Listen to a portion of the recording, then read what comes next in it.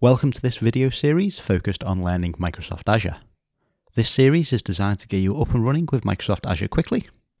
If you prefer written documentation, the article for this topic can be found on my blog, which will be linked in the video description. This is part 2, and we're going to explore the Microsoft Azure portal. The Azure portal can be accessed by going to portal.azure.com and logging in with your Microsoft Azure account. You'll likely be greeted with one of two home pages the first one is likely to be your private dashboard, which you can customize to have various visuals and performance and service status of your resources. Or the other one is likely to be the standard Azure homepage. I prefer this one as it's generally quicker access to various resources and subscriptions, but you can use whichever one you like. If you want to change your homepage, you can come up to the cog and go to Appearance and Startup Views, and then down at the bottom change your startup page to either the home page or the dashboard. I'm just going to select the home page and then press apply. While you're here, you can also enable a docked menu if you prefer, which will give you a permanent menu dock on the left hand side where you can favorite various resources and have quick access to whatever services you want, as well as changing the theme of your portal. If you wanted for say a dark mode, either a blue that's not very blue, or just the standard Azure theme. If we go back to the home page, this is where we can start creating resources.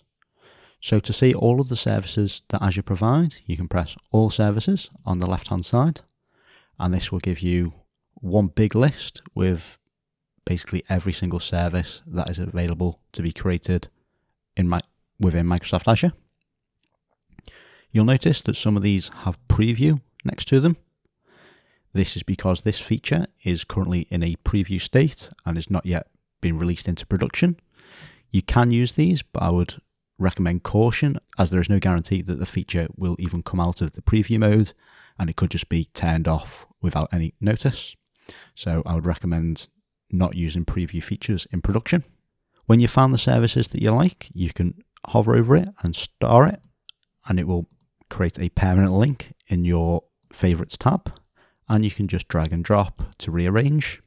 And if you want to remove any, you can just hover over it and then tick the star or untick the star and it will remove it from your favorites page.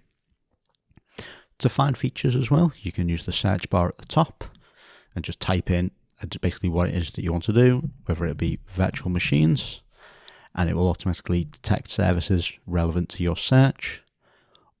It will also search the marketplace with your query to see if anything matches, as well as give you some documentation based on your search query.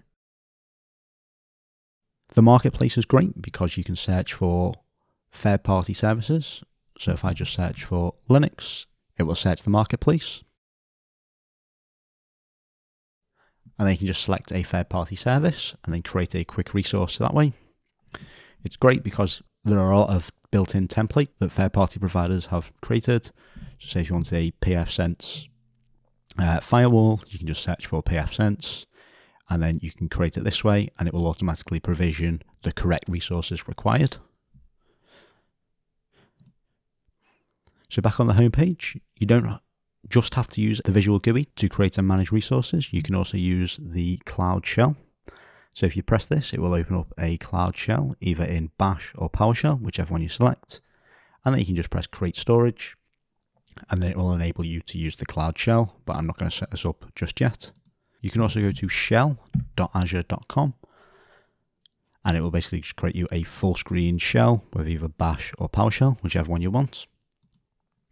There's also a great third party tool, which is cmd.ms which has got a big list of all of the portals, not just for Microsoft Azure, but for Microsoft 365, Intune, Azure Active Directory, and it will take you directly to any of the blades. So if you search for virtual machine, you can just press the command or the URL and it will take you directly to the correct blade where you can then create resources or manage any existing resources. And it's great for quick access if you can't remember exactly how to get there and you just want a quick link. So that is a very quick overview of how to navigate the Microsoft Azure portal and do some basic customization